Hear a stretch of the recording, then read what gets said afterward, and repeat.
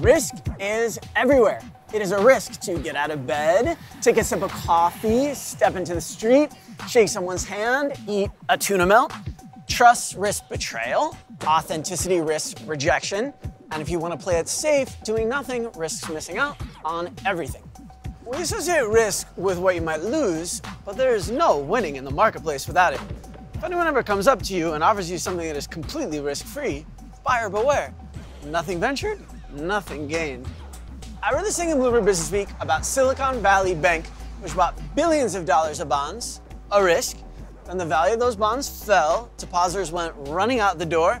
The impact of that risk was one of the biggest bank failures in the history of this country. What does it feel like to take risk in business and in life? We're gonna try to find out from actual risk takers. It's a risk, we're gonna take it together, and we're gonna take it tonight.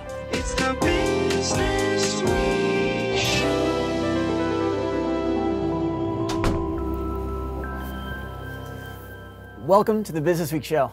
Tonight, risk.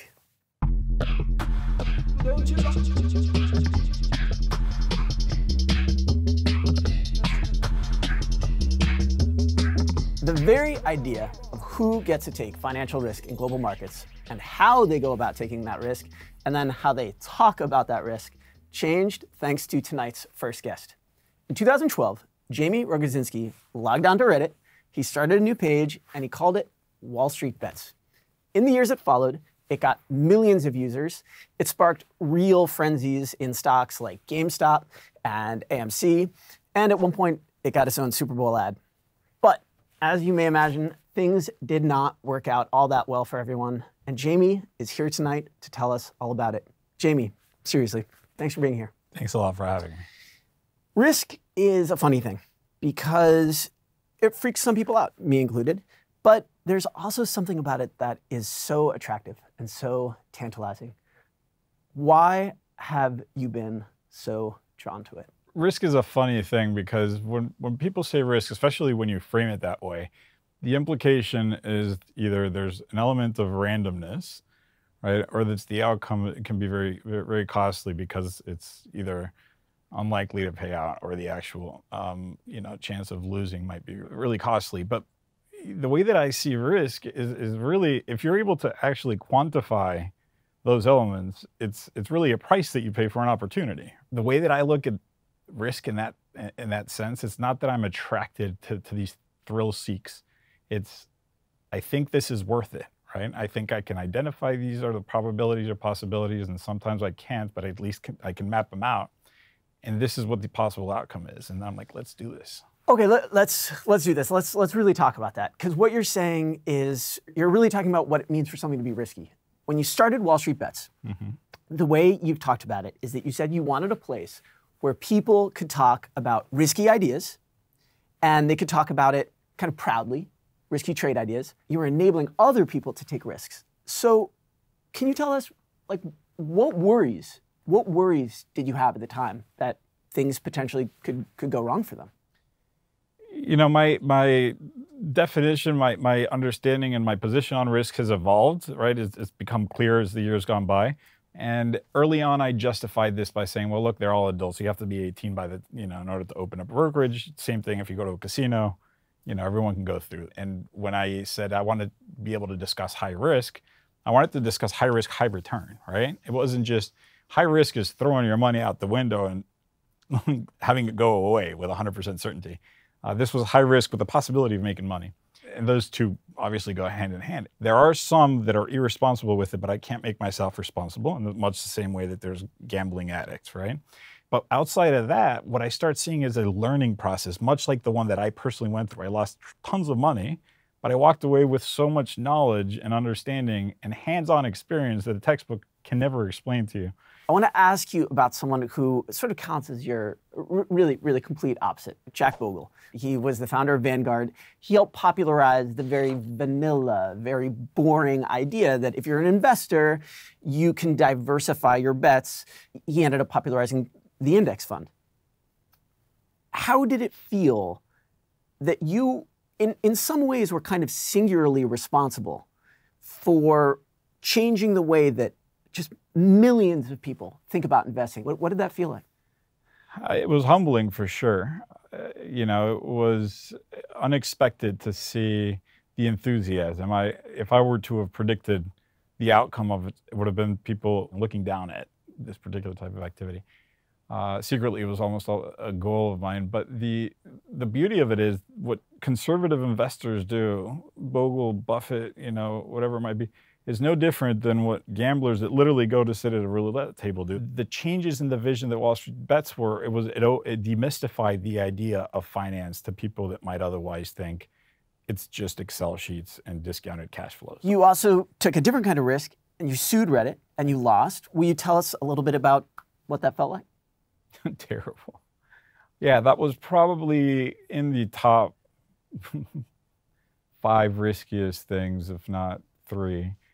You know, I get kicked out, and the stubbornness behind Reddit, the you know, they never answered. I tried pleading and sorries and threats and back channels and lawyers. Eh, eh, they, they would just be like, "No, you're done." You're. They got to a point where they said, "No, we're done trying to negotiate. We want to take you to court with this." And I said, "All right, well, I guess now now I have to actually go to court. And so this is when I decided to to countersue them. So and it didn't feel like a risk. It felt like just so- something you had to do. I needed to do it for closure. I still had a chip on my shoulder and I couldn't fully commit to anything. And I'd still kind of look at every time I'd see Wall Street bets on the news or people talking about it, I would, it would still have that kind of, course. sour feeling. And so, and, and I needed to get past that. And like, look, if I lose, I lose. And then it was, it was, it is what it is. And it would have been a, uh, the fight of uh, the century for me or my lifetime for me. But, but, but then I can be at peace, Is, right? is that how you feel now? Are you at peace? Unfortunately, not um, because it's not over yet. Um, I would have liked the I, I would have liked for the judge to have been like, no, dude, you lose and, and it's over. You know, I don't want to cover too much on the legal side of things, but the judge, let's just say they, they, they left plenty of room for maneuvering. Um, so so unfortunately, it's not over. I was told, um, I really don't know what it is. I was told you brought an object, I think, that maybe uh, encapsulates risk. I think Natasha, my colleague, is gonna is gonna pass it to us. I do believe. What is this? Okay. All right. Tell tell us about tell us You're about this guy. familiar with this? Yeah. re- remind remind me. So this is a uh, this is from a meme, right? It says this is fine. It's a little dog, and and this encapsulates so much of both my life and my ability to handle emotions, especially with the the volatility of markets, but also life in general. It gives you so many ups and downs and so hmm. many ways to go through it. Oftentimes, when faced with adversity, my composure resembles this. It's like, yeah, don't worry about it. It'll Can I see him? Yeah, absolutely. All right. Well, this is mine now. Uh, Jaime, thank you so much for being here. Loved Not having a you. problem. Thank you very much for having me. We have more risk coming up next.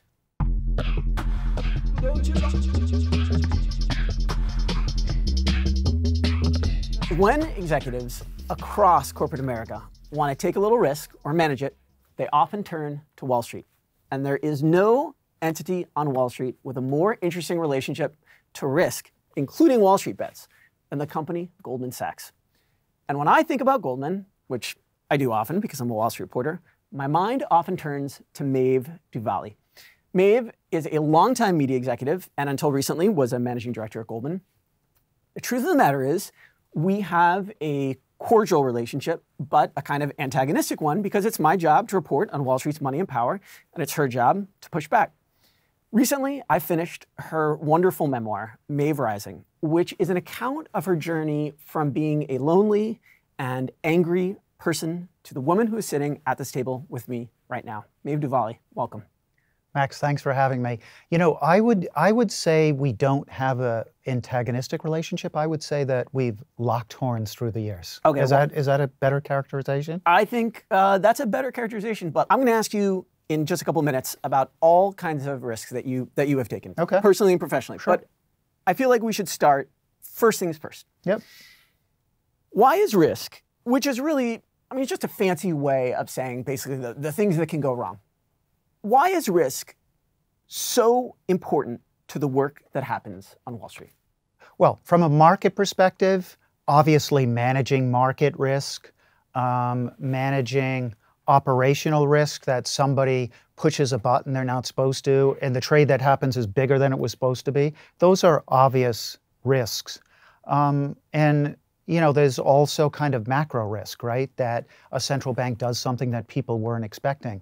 But the kind of risk that I manage, and incidentally, everybody at Goldman Sachs is taught they have to manage, is reputational risk. Okay, so I want to talk about uh, 2018. I think my favorite page of your book. You put on makeup at the office for the first time. What I really want to ask about is like, tell me about the day. Like, what, what do you remember in full about about that day in 2018?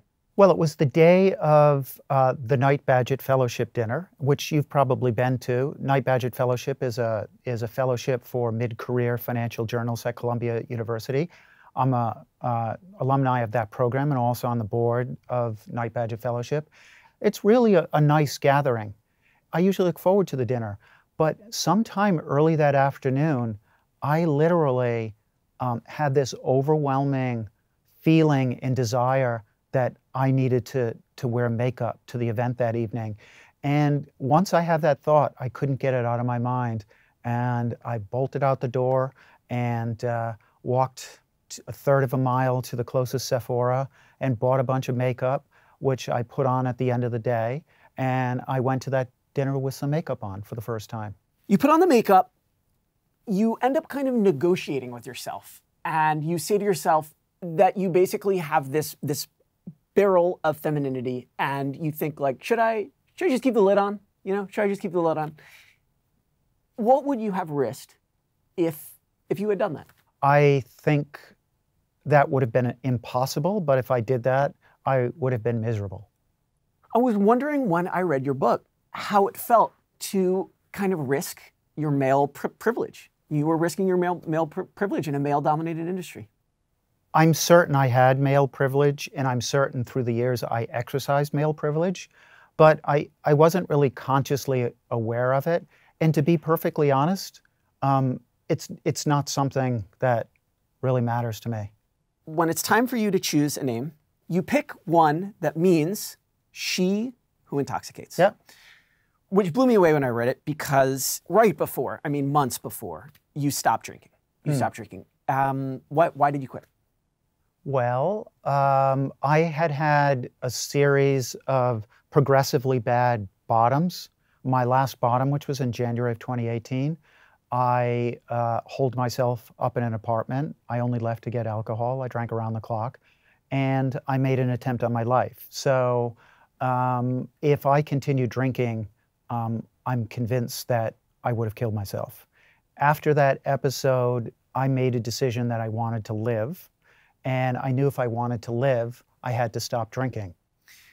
Look, I mean, we have a professional relationship, so part of me feels like it's hard to say this, but it's also hard not to say it. You know, I'm, I'm glad you made that decision. A lot of people who are miserable, they don't get out of their misery. Yeah. You know, they, they stay there. So the, the reality is there are a lot of drug addicts and alcoholics in the world, and the vast majority of them do not get sober and do not get clean and they die alcoholic and addict deaths. That's that's the reality. So those of us who have made it to recovery um, don't take it for granted. Number one, and two, realize that it was a gift, and uh, it's a gift that has to be um, nourished all the time because if you take it for granted, you're going to wind up right back on the street. When you came out, Yeah. you got, I think, literal bouquets from traders at Yeah. Goldman. I think you got like these very warm notes from people. I think you got phone calls. Yeah. Those were from traders, and they were not from investment bankers. And you write in the book with clarity, investment bankers were quiet. I was so surprised by that. What can you can you explain that? Why, why did that happen? I think probably some of my relationships with investment bankers were shallower than I thought. And I think investment bankers are very good at uh, having um, really expansive uh, relationships kind of across a wide uh, group of people. But, you know, maybe some of those relationships aren't as deep um, as they would appear. I love that you're accusing investment bankers writ large of a certain kind of interpersonal shallowness. I hope, I hope I'm not sure I said yes, it exactly well, that is that exactly way. as you said. it. No, no, no. I, I'm, I'm hoping that you'll. You're not going to put words in my mouth, are you? Well, I'm, I'm the interviewer now. Yeah. Um, you know, I asked you earlier about male privilege. Coming out as trans in the milieu of, first of all, New York City, where we are, but also a, a corporation which I'm sure, as I'm also keenly aware has a lot of pressures too. Can you talk, if, if you want to at all, about, I don't know, maybe the, the kind of privileges that come with uh, having a, a really good career as, as you do? Sure. So I, I, I certainly have white privilege. I have the privilege of having worked at Goldman Sachs. I'm relatively well off. I live in the Chelsea section of New York, which is arguably the best place to be an out transgender person in the world. And even before I left Goldman Sachs, I began to, and I've continued to be, an advocate or activist for the LGBTQ community more broadly because you know not everybody is in a position to speak out not everybody wants to speak out but i'm in a position to and i want to speak out so i'm going to Thank you so much for being here. I, I, really enjoyed this. thanks for having me max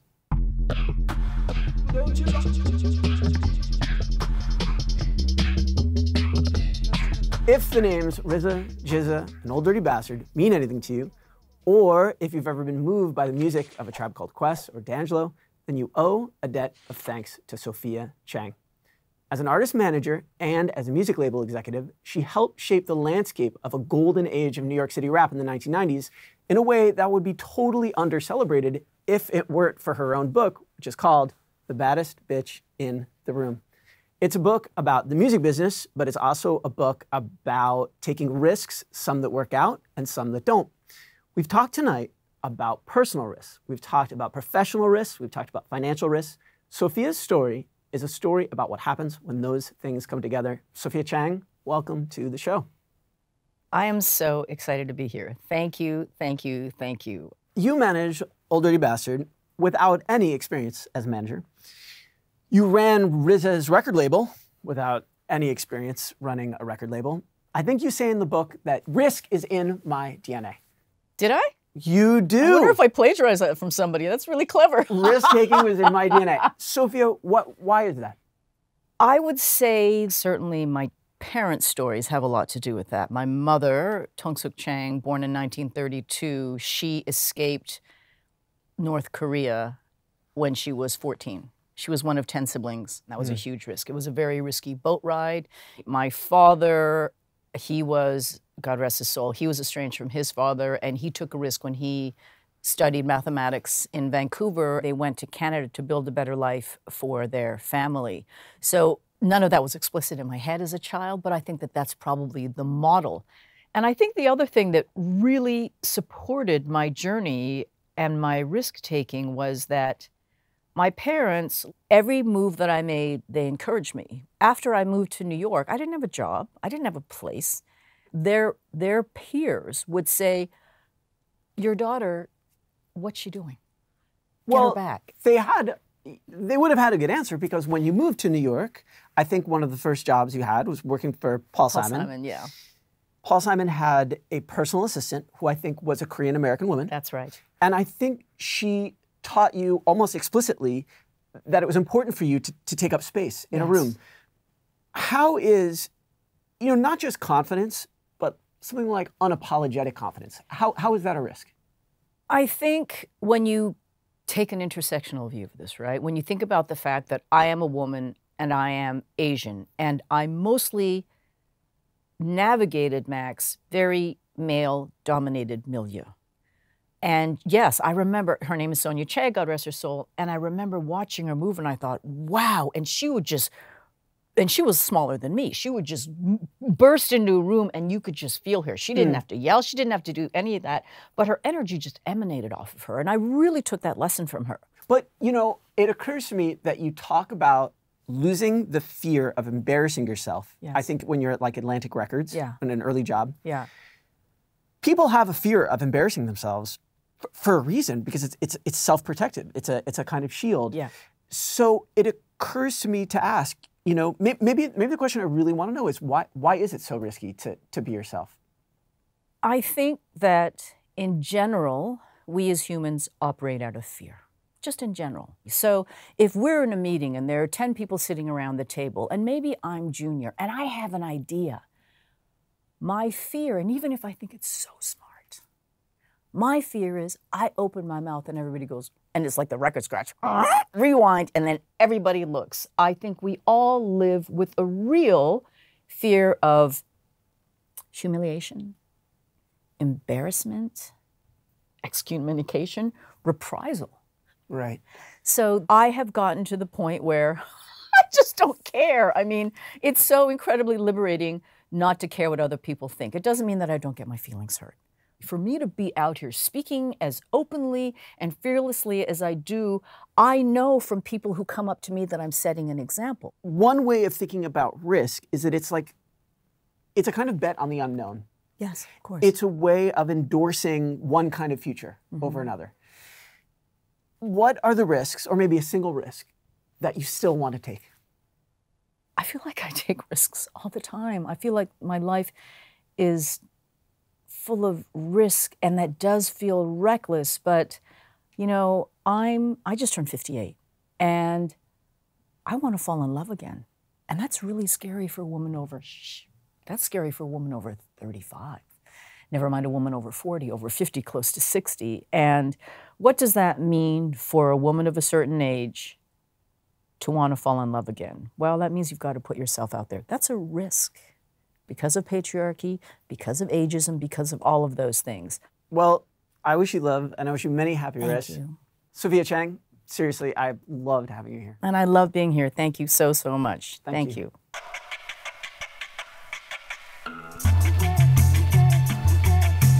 Tonight, our three guests, with three very different careers, showed us that you can take just about any risk you want at work and outside of work if you've got the risk appetite and you're in the market for it. You can create a mechanism for other people to take all sorts of outlandish bets on stocks and options. You can reintroduce yourself at your very fancy job without a guarantee that your colleagues are going to appreciate the change. You can take a job in a big business that you're not really qualified for, and then if you don't like it, you can leave. What you can't do, according to these three interviews, is know for certain what the payoff's going to be before you take the risk. The best you can do think carefully about the risks you want to take, think about why you want to take them, reconsider the risks you've taken already, and wonder about the risks that are still to come. Thank you so much for watching. We'll see you next time. The biggest and most consistent lie that I've told in the workplace is telling my clients and or members of Wu-Tang Clan what time the lobby call is or what time the flight is and making it an hour earlier than it actually is. But they've all they all figured that one out a long time ago. So you just have to keep moving it back. In terms of what causes me the most anxiety, it's when a news story I worked on didn't quite turn out like I planned. That's when you can get into trouble, when um, people have an unexpected negative surprise. What's the worst thing that I've ever done professionally? Oh man, these existential questions. What is bad? There's not, nothing that I can recall that was not moral or not ethical. Mistakes, on the other hand, I've made plenty of those, but all of those have been good, right? They were all they were all stepstones to, to, to succeeding, to being able to creating, to be able to, to, to actually fulfilling stuff. I wouldn't say that I've had one sweeping gesture of generosity, you know, and you got a car, you got a car, you got a car. I've never been in that position. What I do that manifests generosity is telling people they're doing a great job and always giving them credit when it's due. And it costs nothing.